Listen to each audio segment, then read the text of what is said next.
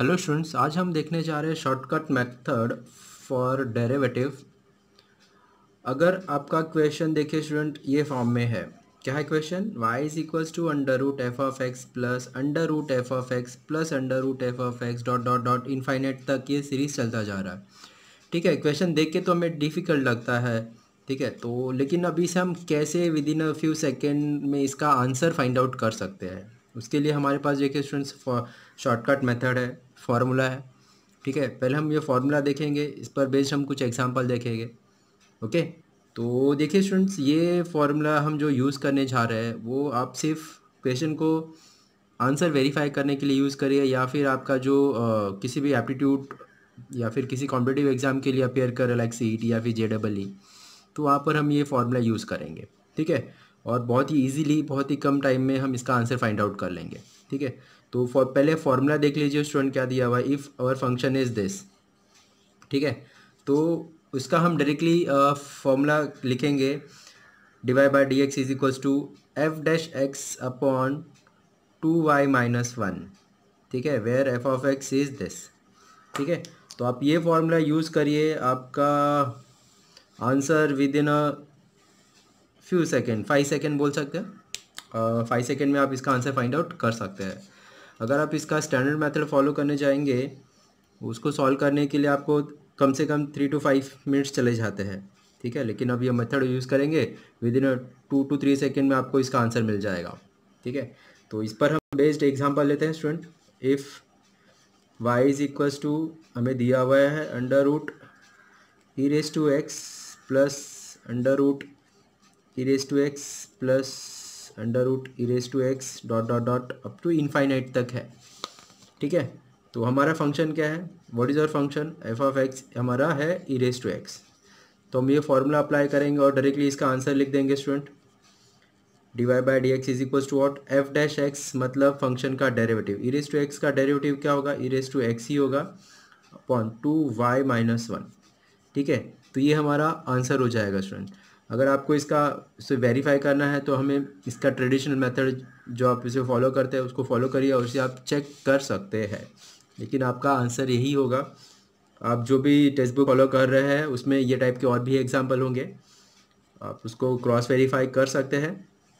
Okay student suppose यहाँ पे हमारा दिया हुआ है tan X plus under root tan X plus under root tan X dot dot dot ठीक है तो इसका डेरिवेटिव क्या हो जाएगा? D Y by D X function क्या हमारा? टेन एक्स है। ठीक है टेन एक्स का डेरिवेटिव क्या होता है? सेक स्क्वायर एक्स तो sec square X upon two Y minus one is our answer ठीक है तो विद इन हम टू टू थ्री सेकेंड में हम इसका आंसर फाइंड आउट कर ले ले, कर पा रहे हैं स्टूडेंट अगर आपको ये टाइप का क्वेश्चन किसी भी सीटी या फिर जे डबल में मिलता है तो आप बहुत ही ईजिली इसके आंसर को फाइंड आउट कर सकते हैं या फिर हमारे कॉम बोर्ड एग्ज़ाम में ही हमारे पास ऑब्जेक्टिव क्वेश्चन है, उसमें अगर मिलता है तो आप इससे बहुत ईजिली फाइंड आउट कर सकते हैं।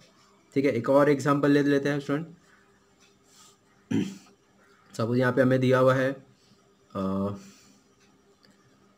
लॉग टू एक्स दिया हुआ है plus under root log to X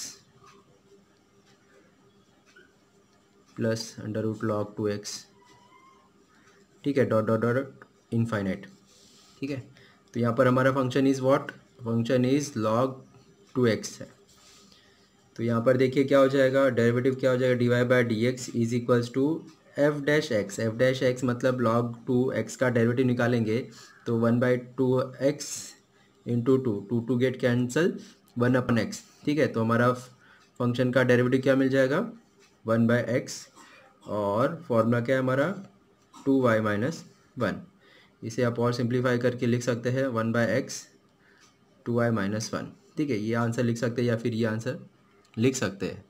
ठीक है, स्टूडेंट? तो ये देखिए हमने कैसे डिफ़िकल्ट दिख रहा है क्वेश्चन को बहुत ही ईजिली इसका आंसर फाइंड आउट कर लिया वो भी फ्यू सेकेंड्स में। ठीक है तो प्लीज़ स्टूडेंट पहले आप ये फॉर्मूला लिख लीजिए और फॉर्मूले को अच्छे से याद कर लीजिए। इस पर बेस्ड और भी बहुत सारे चीज़, आपके पास जितना एग्जाम्पल्स है अवेलेबल उस पर अप्लाई करके देखिए और उसको अच्छे से प्रैक्टिस करिए, ठीक है?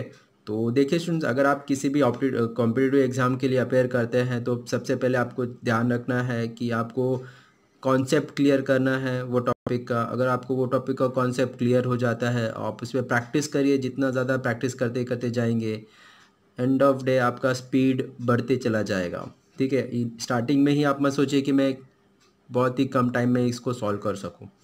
ठीक है, पहले कॉन्सेप्ट क्लियर करिए फॉर्मूला लिखिए, याद करिए प्रैक्टिस करिए, फिर बाद में अपने आप तुम्हारा स्पीड बढ़ जाएगा। ठीक है स्टूडेंट तो ये वीडियो को हम यहाँ पर ही स्टॉप कर रहे हैं। वीडियो के एंड में थोड़ा सा रिक्वेस्ट करना चाहूँगा स्टूडेंट अगर आपको ये वीडियो मेरा हेल्पफुल है तो प्लीज़ वीडियो के एंड में थोड़ा सा कमेंट करिए और मुझे बताइए कि आपको ये वीडियो कैसा लगा। अगर आपका कुछ इशू है या फिर आपका कुछ एडवाइस है, वो भी कमेंट करके मुझे बता सकते हैं। और वेरी इंपॉर्टेंट अगर आपको ये मेरा चैनल हेल्पफुल है तो प्लीज़ चैनल को ज़रूर सब्सक्राइब कर लीजिए और आपके जो भी फ्रेंड सर्कल है उनको ये चैनल का लिंक या फिर ये वीडियो का लिंक ज़रूर शेयर करिए।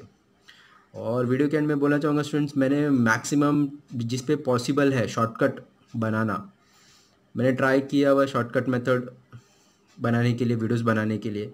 और उसको उसका लिंक मैंने आपको डिस्क्रिप्शन में शेयर किया या फिर आप आ, मेरे प्लेलिस्ट में जाके उसे इजीली अवेल कर सकते हैं।